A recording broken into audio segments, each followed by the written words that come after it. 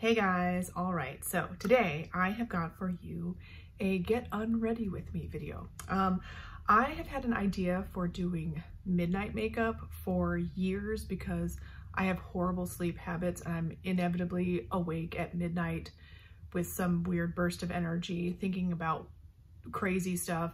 And um, so I thought if that ever happens, I'm just gonna do midnight makeup. Like, um, but I decided to sort of ease into it, okay? So we're not gonna go crazy. So you may be wondering, yes, that's why it's dark in my uh, room. That's why like the light is shining on me. I never have artificial light ever in my videos. I always have natural light coming in right through my window, which is right there.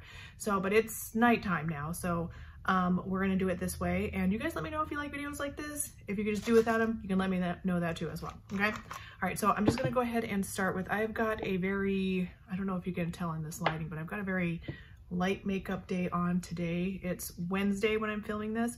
So I have church on Wednesdays and I usually try to do light makeup on church days. So I'm just using the Equate Beauty Oil-Free Eye Makeup Remover. It is the Neutrogena dupe, the Equate version of it. And I'm really gonna use this to remove all my makeup, honestly.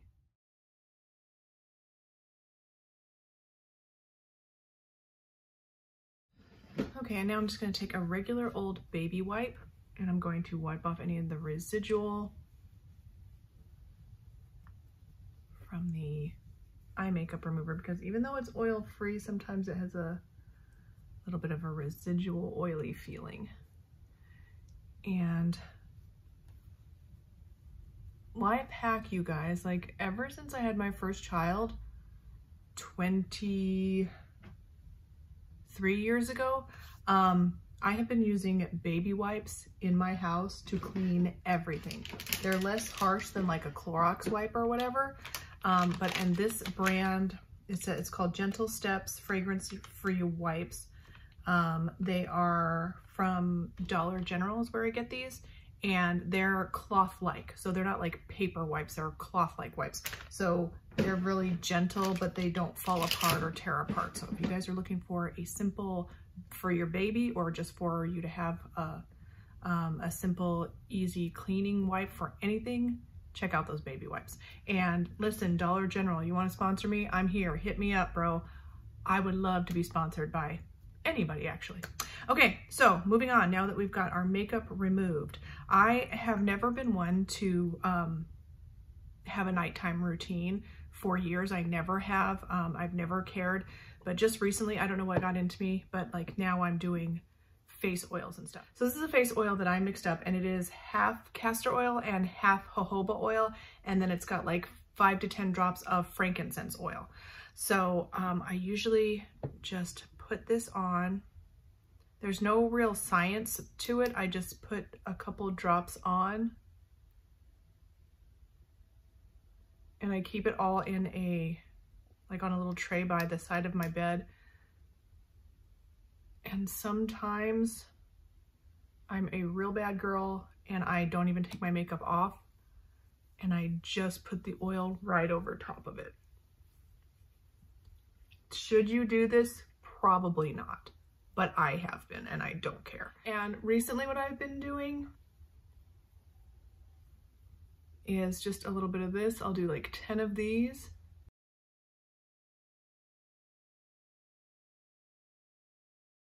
and then right here by my cheekbone.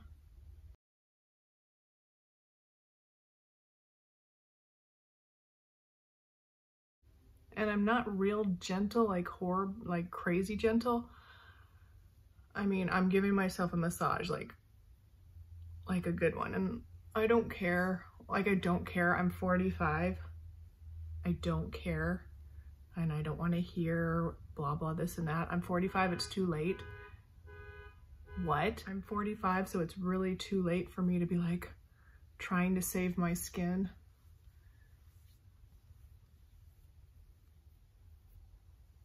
Okay, and then I also will put this um, rose hip oil on just right over top of that. I do like the way the rose hip oil smells though. It's very herby. And the last thing for my face that I will do is, this is just straight uh, castor oil. And I will just put a little bit of this on my eyebrows. And like right there, look at, see my bald patch? It's filling in, I don't know. And uh, castor oil is actually good for the lipid layer of your actual eyeball. So if this gets in your eye, it's fine. And if you have like very dry eyes, you can actually put a drop of castor oil in your eye and it will strengthen that lipid layer that is uh, right over your actual eyeball. Okay, and then sometimes I will use this. This is, um, I can't, I can't read it because my, my eyes are all blurred from the castor oil. I'll try to, to um, put in the, uh, the uh, not the comments, but in the description. It's a cream. It's like a menthol, natural menthol. I think there might be a little bit of CBD in there. I, I don't know. I don't care.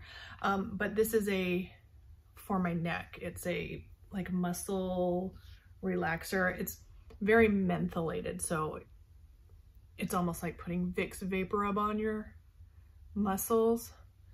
But it, when you rub it, it is soothing, but it's cooling as well. So I have the worst muscle, skeletal muscle, muscular problems with my neck because I have a forward head and my neck has taken the brunt of it my whole life. So it's very painful sometimes. And uh, sometimes the muscles just cramp up, but this cream really helps too. And then the massage helps to loosen up those muscles a little bit. If I could get to the chiropractor, he would just crack my neck up and I would be, I would have relief, but I, I just can't get to one. It's just, something always comes up and I'm always too busy or can't do it or something, something always comes up. So the last thing that I'll do and this, that neck, this cream is, it's already just feeling so good. It's the menthol or whatever that's in it. Um, the last thing that I do, and I don't know if you guys can tell, but you're getting a middle part from me. You're getting a middle part from me from now on because I've got a bald patch here on my side part. I've had a side part for years like literally years since my son was born, so over 20 years, I've had a side part and I did a side part because my hair naturally grows that way. So I was like, stop fighting it, Holly, just have a side part. But now we have a bald patch. So you're getting a middle part from me, you guys. So the last thing that I'll do at nighttime, and again, no rhyme or reason to this, is I will take my hair oil that I mixed up, which is half castor oil, half fractionated uh, coconut oil, and then there's a bunch of rosemary essential oil in here. And then eventually I'm gonna make one with rosemary and um, peppermint oil because I've heard that's uh, good for hair growth as well. So I just, I actually like when I'm just sitting in my bed, I just start putting it on and just dropping it wherever. And I don't even have a mirror or anything. I just, until it feels like there's a lot on my scalp. And I don't think I do any more than three dropperfuls, but it's usually less than that. I don't think that you need that much.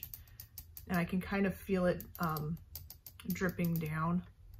So I just wanna make sure that my entire scalp in the front area of my hair gets all the oil. And I do this several times a week, three to four times a week. I don't know if you're supposed to, I don't, and I don't care one way or the other. I don't know that it's gonna work. I'm just doing it because I want to.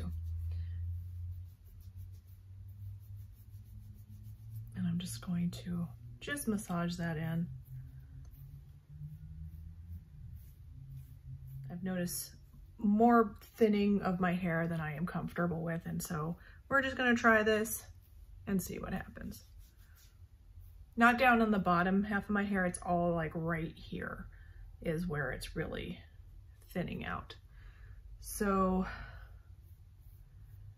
all right, and there we have it. That's what I do for a nighttime routine, and you can see how shiny I am because like the oil, like I got a lot of oil going on. So if you like videos like this, please don't forget to thumbs up, like, subscribe, ding that bell, and I will see you in the next one.